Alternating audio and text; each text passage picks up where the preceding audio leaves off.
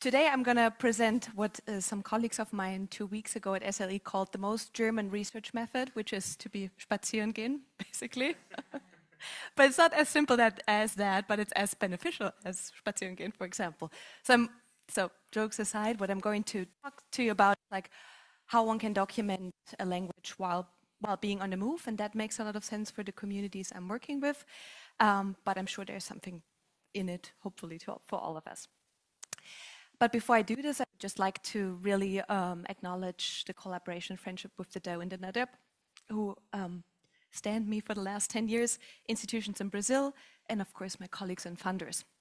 So I would bet that all of us have read that sentence somewhere, right, which is uh, one of the definitions of language documentation, namely uh, the creation, uh, creation of a lasting multi-purpose record of a language, right? So this is what we should do. And this includes records, right? We are asked to create a, a variety of records um, that span over several registers, right? Social and local variation and so on. Um, ideally, it serves lots of users, mainly right, the communities and um, you know us researchers, our linguists, uh, linguists and um, colleagues from other fields, and finally also the users, right? But um, while I completely agree that this is absolutely necessary and timely and so on. Like if we really look at our work, it's really hard to keep up with all of these with all of these things. Right? And what I see is what actually, unfortunately, always is lacking. Actually, is the use of these data for community members and so on and so forth. Right. The question is, we can probably talk a whole day about um, who is at fault here? Is it the funding agencies? Is it, uh, is, it, uh, is it academic pressures or whatnot? But this doesn't take us anywhere because we can't really change it. But what we can change is actually looking maybe at our methodologies and revising them and coming up with some ideas that make it actually maybe a little bit easier to attend to these standards.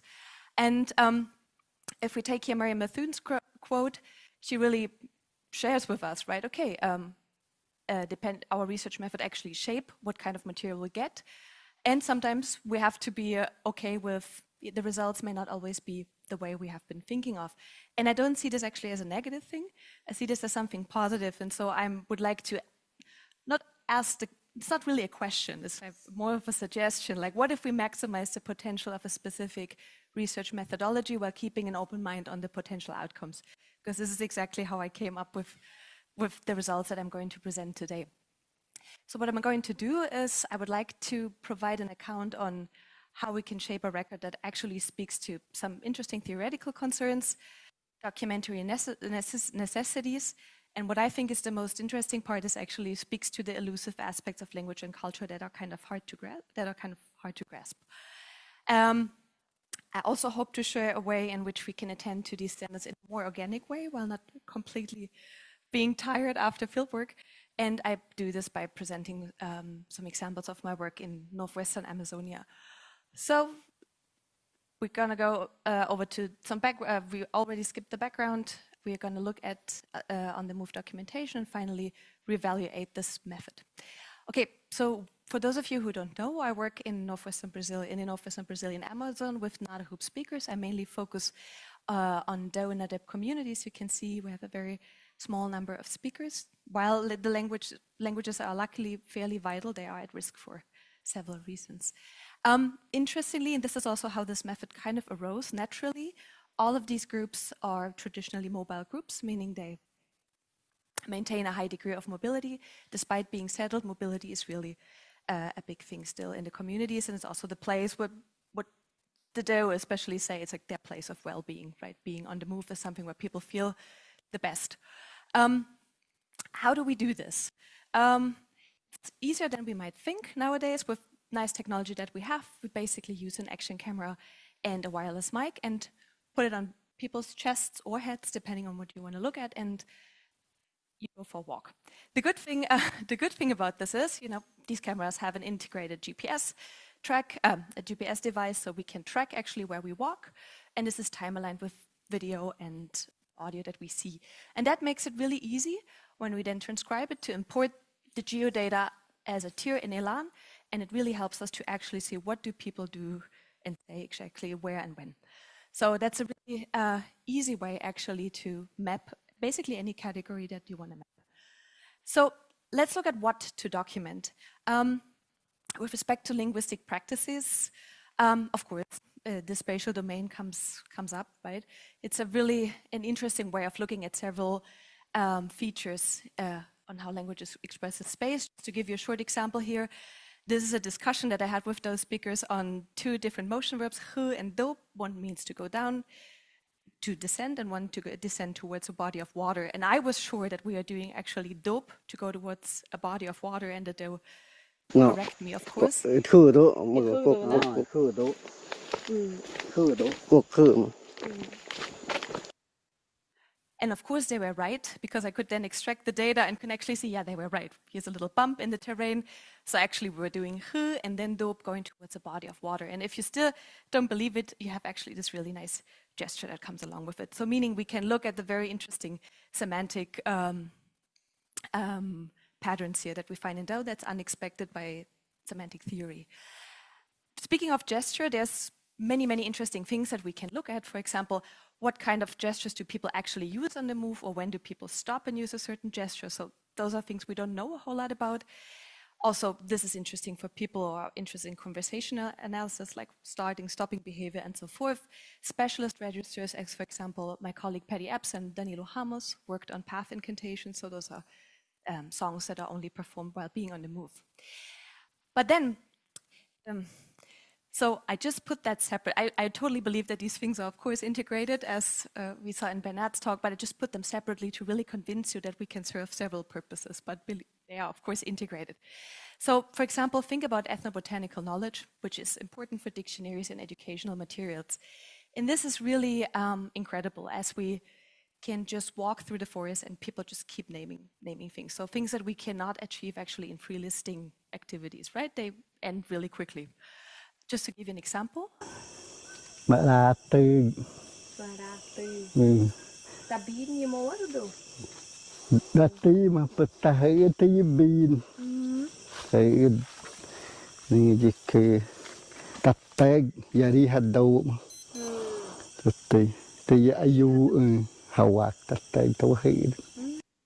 And it's really nice because when we look at these videos afterwards with, with uh, community members, it is really incredible because the things they see in the surroundings that we can use to add to the, our dictionary entries, right? Not only the thing that he just mentioned about the plant, but just what we can see. Where is this plant growing? It's growing next to which plant is just a really, if, let's say, an efficient way of capturing these sort of data. Another thing is really uh, incredible is traditional ecological knowledge. So we actually come across things that you don't even think of and that community members also don't think of. And I would like to give you another nice example, just pay attention to the bird sound. Dạ. Nghe tôi quýt một chút Vui cần lắm. Vô vô lệ xí The video is not as glitchy normally, it's because of that. Bạn bột trên cơn hot Heh, tuot. Ừ Iskut pasaring tapalan karo karo Phải thế nào ele aquele Passarinho do passarinho do cobre cobre. Cobre Right? Heh, tuot.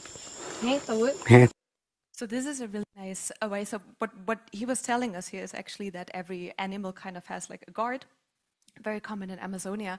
But this sparked the interest of the whole community. So there are now a few people who, who are doing their Magisterio Indígena and actually took this as a like a topic for their final paper, like to really research what animal guards whom and what. Um, and the last point I would like to mention, and I think this is super interesting and something I think that's kind of entering the language documentation world, which is documenting transient material culture. So that means it's a term from archaeology, basically documenting all the things that we don't that are ephemeral, right? That we don't really see, that we're not really aware of, that we just take and just throw away. And this is also a method to document this, right? As you can see here, for example, he's tying up this tortoise. Here in a bit, he will notice "No, that's not the right one, and they actually have a conversation about it and takes another kind of vine. And then we have a conversation about this and documented two names of wine that vi- vine that we didn't have in our dictionaries before. Or for example, we have a whole collection now of certain knots that people do, and they of course all have names, and that's interesting to linguists and interesting to the communities. How am I on time?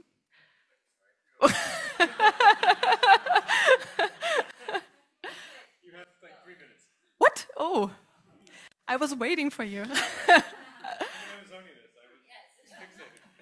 All right. So I get, uh, then I have, might have to skip a few things. That's, that's on you. it's on Zach. Okay. Okay. Um, right. So what are, that sounds really nice, but of course there are things that are difficult about this, and some of them you, you might have already seen. Um, it's pretty sensitive data, as you can imagine. These people really forget about these cameras and start to talk about things that they don't want on video. So we have to be really careful with what we do with with these videos afterwards. And you can also happen to me very often that I'm just have been like at the wrong place at the wrong time, like just here. We were going on a walk. If I have food, and he sees these hog footprints and gets really nervous about this. tomat, tomat, ya,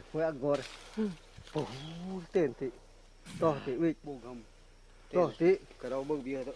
toh, toh ti mana? Hai, toh ti, apa ke sakit? turned his thing off and he gets really angry at me afterwards he explained to me no i don't want this because you know i cannot have four eyes on the on the hawk so that can happen we have a large amount of data to process and to process and curate these cameras even in the lowest setting just create huge videos and this is a problem for archives as we know also geodata, geodata is a little bit difficult to archive it's not all, all archives who accept that file type um, they're tr- tricky to transcribe, as you have seen. It's just people are moving, and you can get a little dizzy while you do this. And um, incomplete footage, in the sense of, like you have seen, right? Oftentimes, you know, the, the hands are cut off or part of the head. So it's not what we learn in, in language documentation classes, but I think we can still discover other things, right? And it can be physically exhausting. But on the bright side, on the bright side, I think from a linguistic perspective, again, it, I think it's an incredible way of contact for contextualized grammars and, and lexicons. Um, and it's just an all-encompassing spatial backdrop for many, many research questions, if you're interested in, in, in that. It also really strengthens, I think, the bond uh, between the community and a researcher. Like, I have never, you know, had somebody say, oh, remember that day when we elicited that person marking paradigm? But we had, we had, I have people saying, remembering this moment.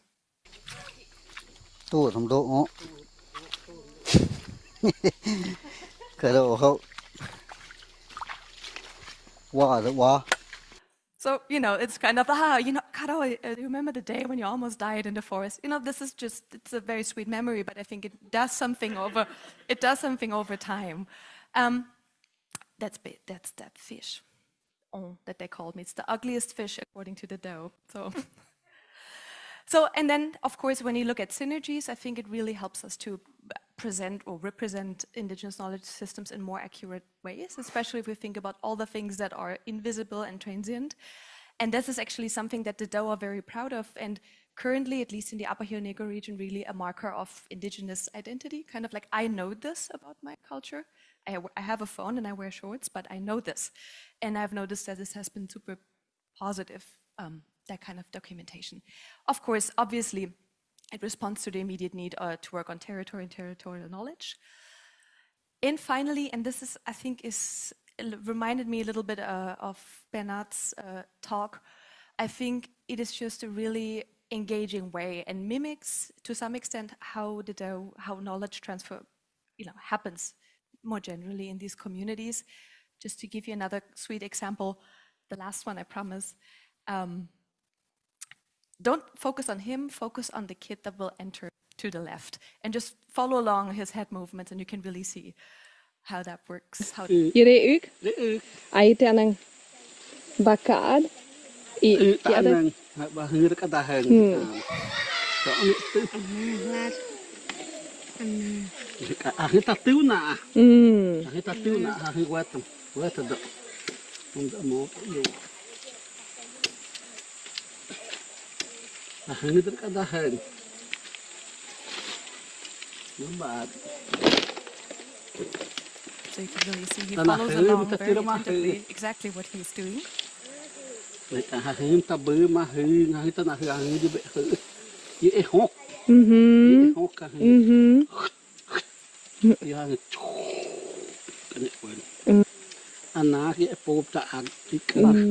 basically, um, I will finish. I, I'm out of time, right? So, so I will I will end this here just to say that these walks have been incredible because kids just join in, and you know they come closer to the things that they're interested in and are automatically part of, of that process. And I think that's a very nice way. So, fig, figure um, finishing up, I think it is a multi-purpose uh, it is uh, a true multi-purpose record as we, I think, really attend to the records and add another one, the GPS one. In terms of registers, it's incredible because we can actually gather multiple re- multiple re- uh, registers on one go. Um, in terms of usage, it's kind of endless what you can do with mapping. There's, you know, uh, lots of things we can do with it, and that, of course, I think corresponds to the needs of the users. Sorry for being over time, but is Zach's fault. Thank you.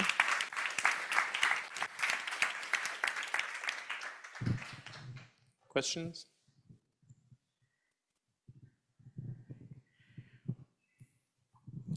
Thank you, Carol. Um, I missed your talk at SLE uh, two weeks ago, so I'm happy that I was able to catch it now. It occurs to me that this is the type of documentation that could easily be done without the linguist or the researcher being present in the community.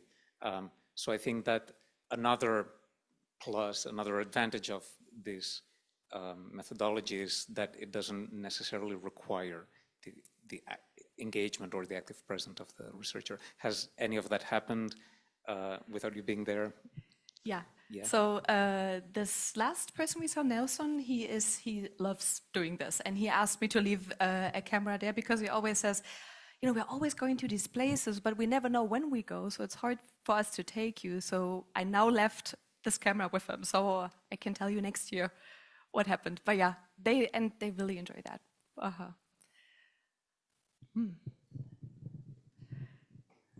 I was wondering when they do these explanations, like they talk about this, what was it, snake bird, uh-huh. and they talk about the leaf and the plant. Who they are? I mean, they're, they explaining this to each other? But they're or they're, are they talking? They're talking to you, right? They're talking to me. So if mm-hmm. two of them would be all, so this is my, what I'm wondering, like what utilizes them suddenly explaining something because there's, between them is common ground, right?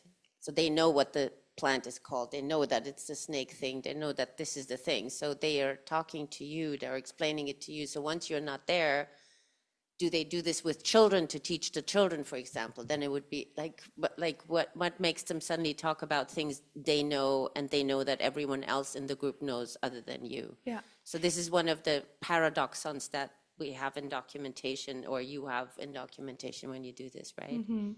Yeah, that's a really good point. So what I've observed, like, you know, I've done these walks with where I'm just at the end and then people walk, I don't know, 100 meters ahead of me and I don't really hear what they are talking and talking about. And you can really see people constantly point things out. They will not explain, right? They will say, snake ah. bird, this, this. They will not elaborate. But then still you can use that afterwards and ask, and I can ask about it. In these walks, it's kind of, I would call it like a semi-structured interview. Like I, they know that I'm after things and Yeah. I think, but you saw it with, uh, with the snake bird actually, right? Because you just said snake bird, Exactly. snake bird, and then I, I kept asking. So That's what I was, because I thought he was snake bird and snake, and I'm like, what is he pointing at? What is he saying? And then, so he did that the whole time. So that's why I was wondering about uh-huh. this practice of they're pointing to each other to warn each other that there's an animal that could attack them or a plant that they could use or, s- right? Like mm-hmm. what's the, so I'm interested, what I'm interested in is in the, in the linguistic practice that is behind it of like in a conversation, you talk, I talk, you talk, I talk an hour. So when they do these bushwalks, they point out to each other. What do they point out? What do they point out? And then when you ask and elaborate, so it's a really interesting genre to see, also to explore what the practice behind it is. yeah. Because I don't know how this is done, right? I mean, so.